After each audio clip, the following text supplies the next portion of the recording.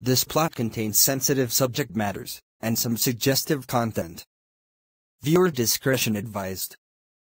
Don't watch if offended.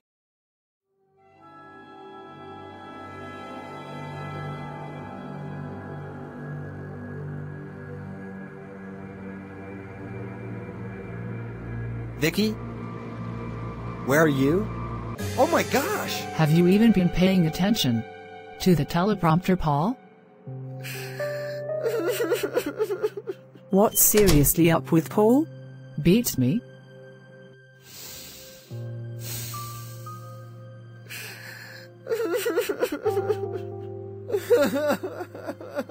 Vicky? I hope it's you.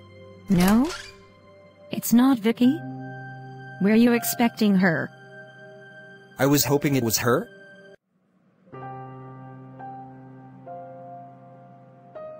I really need to talk to you. This is kind of a bad time. I'm kind of going through some stuff. I walked off of my new set because of it. Wow. Let's talk in the lounge. Okay. First off, what do you need to talk about? I went to see a therapist. I felt like it was the right thing to do. After what happened. That's great. I'm glad you're getting help. Thank you, Paul. Do you seriously think I'm pretty? I don't think it's appropriate to be asking that. To a married man? But do you? Ugh, yes? Really? Yes. Like I said you are pretty, but to make it clear, I chose my wife, Vicky. She's been through a lot of stuff. Like what? I loved Vicky before I met her, I seen her around town, but she was married to an abusive man. Vicky was the reason that I stayed here. I was ready to leave to go home to Lancaster, or even back to New York City, but at that moment, she came in the cafe for autograph. And I was dating Lucy at that time. And Chard, was in New York. They both treated me like crap.